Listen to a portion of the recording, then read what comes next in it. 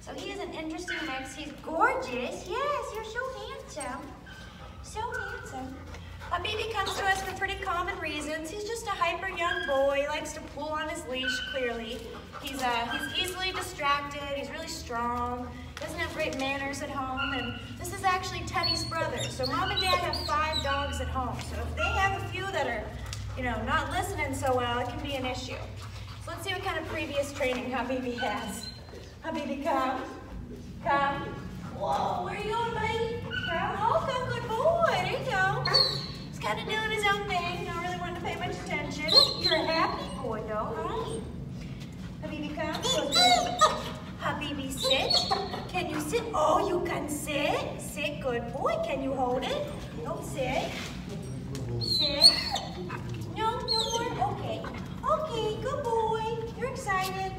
Likes to play by and things like that, it looks like. Habibi, come. Good boy. Hey, Can you go down? Can you go down? No, just the opposite. Thanks for the hug, Thank you. Thank you.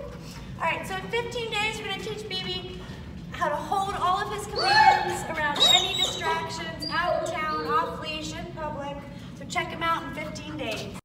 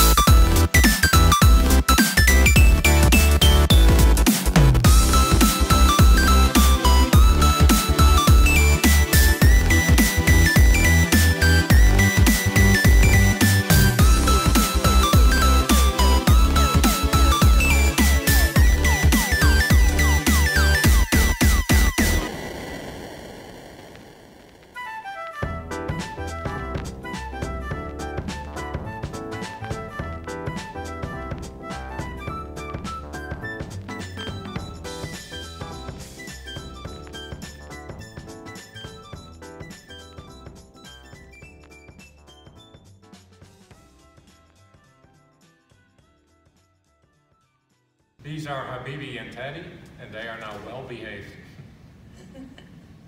Thank you.